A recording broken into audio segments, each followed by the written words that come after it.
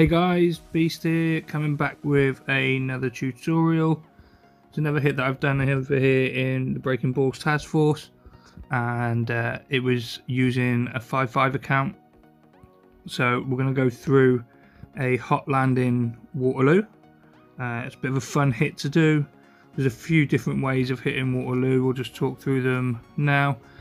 So the standard magic path is where you gather just underneath the cell and then you'll come up into this spot here and straight up the top.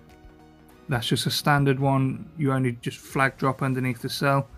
Um, there is a newer path with bullet where you come in underneath this cell and then you go up to where these shock mines are here and straight up underneath this bit.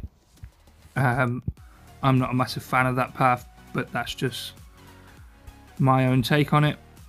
Um, or we've got this one. So where we've got the rocket launchers on landing, what we need to do is drop a boat of heavies and then that's going to distract them. So I'll show you what I mean by that now. So we're just going to clear these mines. So always check these mines, see which one is higher and take that out. So it's three artillery for the clear and then you see we're going to drop the heavies here underneath this cell.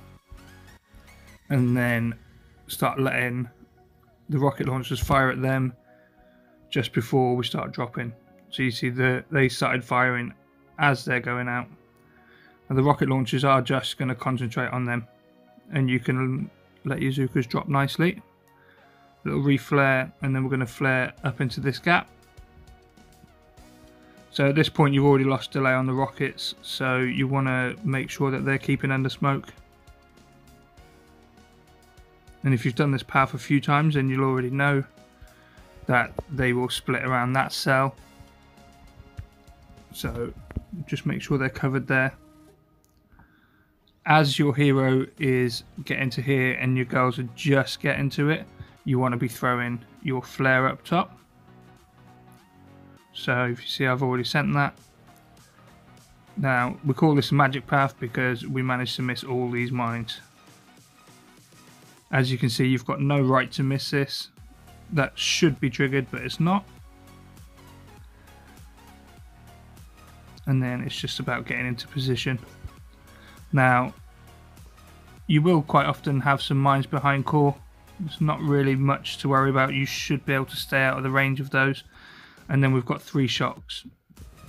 So you're going to shock these four mortars, and shock the rocket launchers down here, and then the other shock should be right on the corner between this here, and then you'll shock all of these.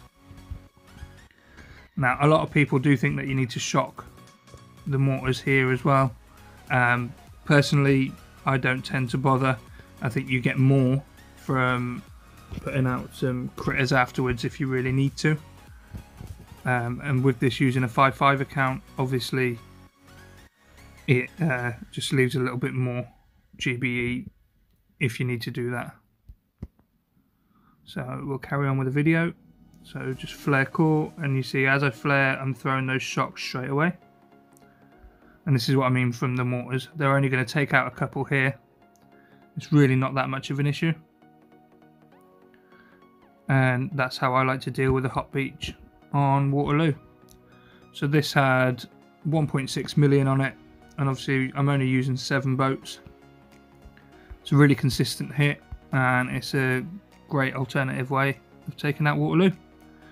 Hope you guys enjoy the video. Hit us up in the comments, leave a like and subscribe. Cheers guys, bye.